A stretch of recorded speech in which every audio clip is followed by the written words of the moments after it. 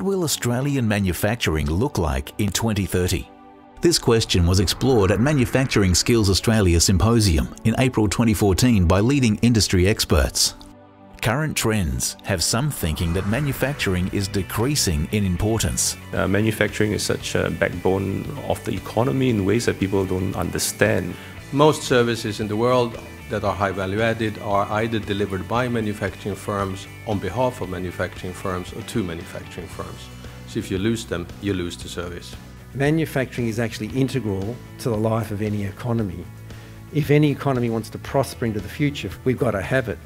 To ensure manufacturing thrives towards 2030 and beyond, we need to create a competitive landscape that encourages productive and innovative firms to flourish this needs to start with a bipartisan long-term commitment to manufacturing. We have to have continuity and industry policy that is agreed bipartisanly and it stays in place no matter what happens to government.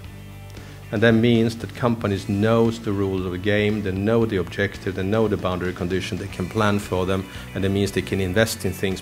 Whereas if we throw it around every third year, no company will do anything. The experts stressed that to maintain our current living standards, productivity levels must be significantly increased. The key issue is productivity. A country lives on its ability to increase productivity faster than others. And that means that at the moment, the productivity improvements in Australia are not cumulatively sufficient to maintain the living standard that we presently have. Either we decrease our living standard, or you increase the ability to create value. But if you're going to increase the ability to create value, you have to have the skills to do so and the industrial structure to do so. In Australia's context, we keep losing the value adding battle. I think uh, Australia's got to make a decision at some point, you know, are we going to be serious about value adding, you know, uh, to some of our natural resources, you know, or not? Developing world-class management and leadership capabilities are central to improving outcomes. Increasing managerial competence uh, increases productivity. Australia is a second-rate nation when it comes to managerial skills.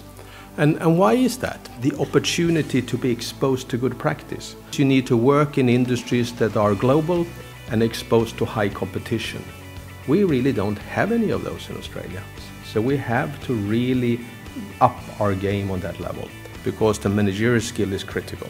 The symposium explored how a design-led manufacturing mindset would encourage creativity and innovation in our workforce. Okay, how do you actually enable creativity okay, amongst your workforces to actually allow them to innovate? We're not good at getting the best out of our staff, and that's a huge barrier. We need to improve our capacity for turning research into value creation and competitive gain, and deploying advanced technologies and processes Australia comes out extremely high in all the supply side issues on research. There's a lot of research productivity on universities. We are extremely poor on research on company levels, and there is a very poor linkage between what firms do and what universities do. If you look at the average manufacturing firm, uh, you should invest minimum 5% of your turnover in R&D, 5% annually in upgrading your capital equipment, and minimally 5% a year in upgrading your people. The high value of innovative business models was also examined. If you only innovate around the product, it's actually a very easy thing to copy. But if you innovate around your business model, you will fundamentally change your product and service.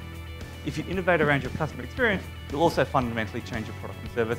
And those intangible or non-technological innovations are very hard to copy and actually make you very competitive.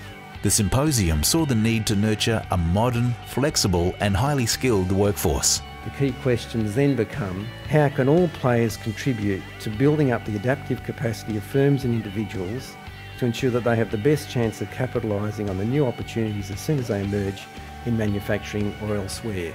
STEM, STEM, STEM, STEM, STEM. It is fundamental. Tomorrow's manufacturing and even today's manufacturing will require STEM skills in every single job. We need to have a higher level of education. That has a major implication for today's workforce that needs to be upskilled about these things. There are many challenges, but also many opportunities for a healthy and vibrant manufacturing sector. A sweet spot of Australian manufacturing, it's high variability, high complexity, high value adding and profitable at low volumes. Those 7% of Australian manufacturing companies that do exceedingly well, they tend to sit in that box. MSA's symposium demonstrated that the time is now to meet the challenges and seize the opportunities for Australia's future.